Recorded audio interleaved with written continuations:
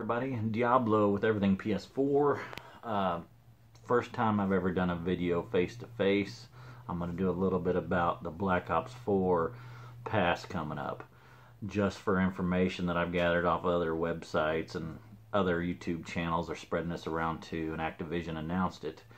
The uh, the DLC pass that you usually get after the game's released. Uh, apparently, that's not going to happen.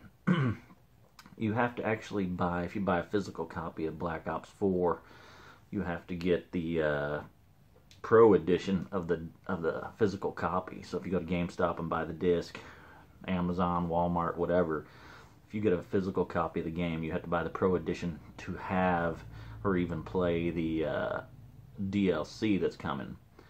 And as far as the digital versions that you order and be purchasing I think there's a digital deluxe edition that you have to buy in order to buy to play the DLC, which is the maps they're going to add on later throughout the year. Um, also, there will be no um, uh, single DLC releases.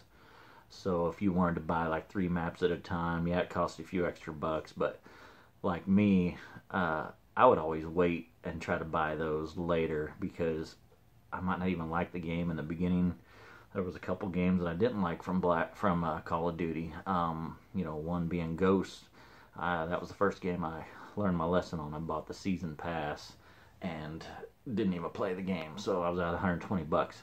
And I, I think that's the way to go now. But now the what with what Call of Duty's doing, uh, making us buy the actual Pro Edition, so now you're going to be out 120 bucks if you don't like the game or not. So, but that's the information I have now.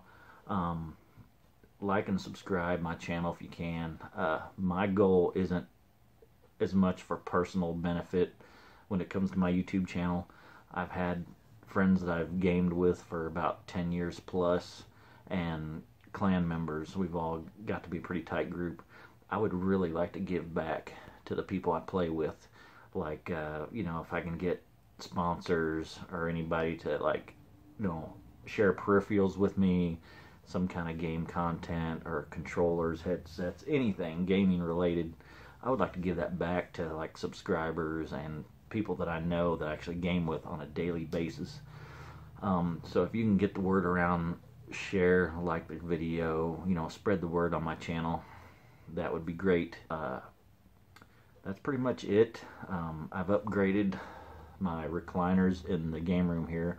I'll add it on to the end of the video. It's just another little quick uh, tour of the game room, you know, up to date. Um, so uh, that's pretty much it.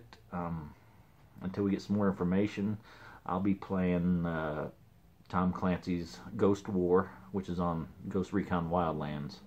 Uh, you'll see a lot of my videos up there, me and my crew playing. Um, that's pretty much it. Uh, until something else comes out, maybe I'll put up a video here in another month or so about some of the games coming up later in the year that they announced at E3. That's all I got.